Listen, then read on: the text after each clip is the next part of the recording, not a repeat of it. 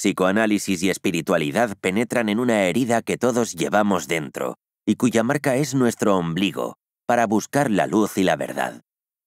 Ambas crean una atmósfera sagrada en los encuentros, donde el yo del sujeto debe inclinarse para que predomine la gratitud sobre la envidia y la queja, el amor gratuito sobre el odio. Los dos procesos producen una desnarcisización del sujeto, condición sine qua non para que haya cura psíquica y un despertar espiritual.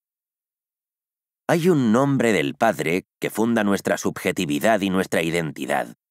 Y hay un Padre-Madre que funda la familia humana, la humanidad de cada uno de nosotros.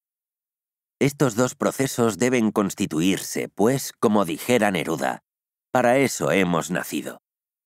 Un camino que lleva de Adán al Mesías y que está enraizado en lo más profundo del templo de nuestro corazón.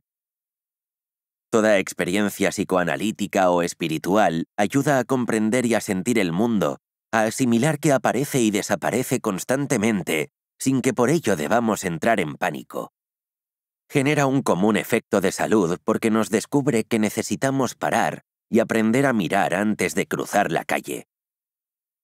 No deja de impactarme, cada vez que sucede, el ritual que se repite cuando un paciente llega a la sesión. El sujeto que recibo viene de un mundo convulso y ruidoso, tanto en el exterior como en su interior, y el setting analítico lo recibe con silencio. Se le invita a sentarse o acostarse en un diván a parar, a relajarse físicamente. Nada de lo que diga será juzgado, porque juzgar nos separa. La atmósfera es cálida, neutra, es un lugar propio para la oración. Entonces se genera una cierta comunidad espiritual.